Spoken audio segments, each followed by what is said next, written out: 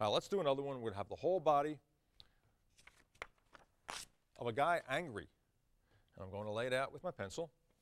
He's standing up and he's pounding or he's his hands in the air and he's talking on the phone, about to pound the desk. And he's leaning this way. Here's the desk. Just a big rectangular shape. And here's his arm coming back, and that circle indicates his fist. And this one is his other fist up here. We're ready to go. Marker now and draw this character in. First, his nose and his mouth. Well, it's a little like the fellow who was scared, but we'll change the expression by putting the eyebrows in down.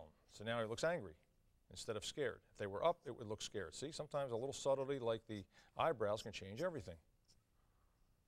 All right, now we're going to put in his chin and his shirt and for his tie. Well, I'm even going to have his tie flaring out like this. And here's his sleeve. And this one's coming back towards him holding a telephone, so that'll overlap. Now let's put in his hand and the phone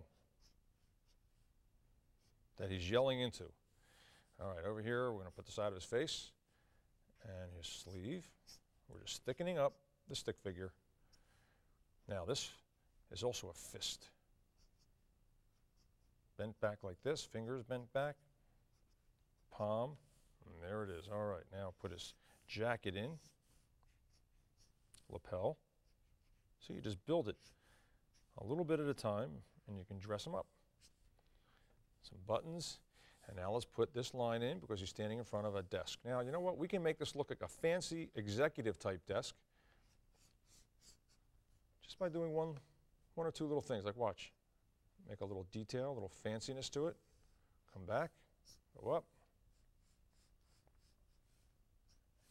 Some lines this way to make it look like it's a shiny desk.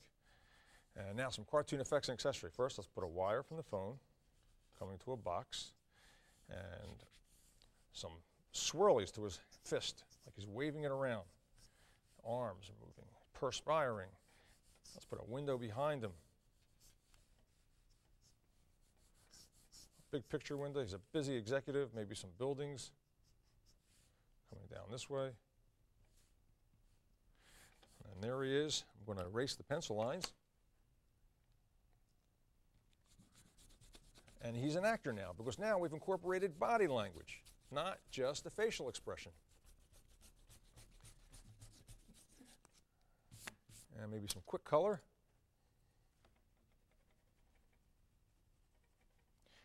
And these are your actors.